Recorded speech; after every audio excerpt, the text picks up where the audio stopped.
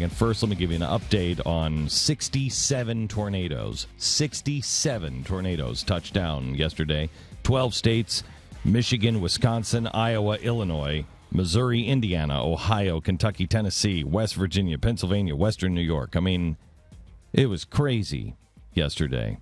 Washington, uh, Illinois was ground zero. The entire town hit so hard, the residents don't even recognize it anymore. The people that live there um, couldn't even tell what street they were walking on last night.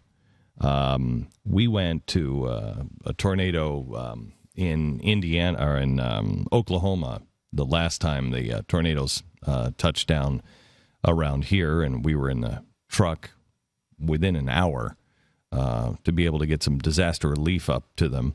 It was remarkable. I have never seen anything like it. I've never seen a tornado before. Um, and you don't understand.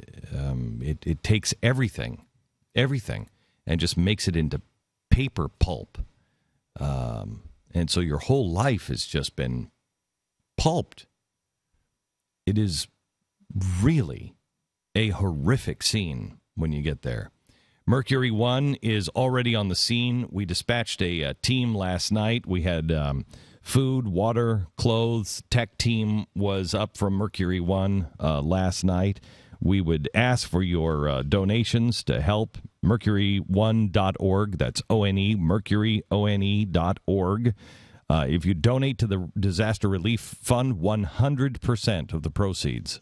I don't know of another uh, charity that does this. This is why I do, um, you know, Man in the Moon and things like that, because we raise the money to run the organization through things like that during the summer.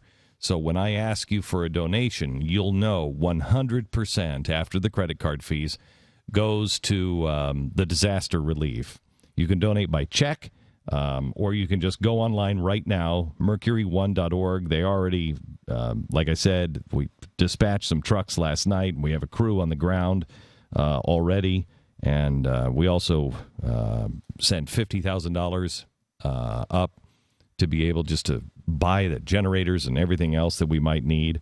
Um, we are on the scene with the local churches and the synagogues in the area. Those are the hubs of the community, and we have found those are the first real responders are the uh, churches and the synagogues. And so last night we were um, we were meeting with with them to see how we could possibly um, help them the churches are always the first on the ground, and they are the ones that are there after, you know, people like FEMA are long, long gone.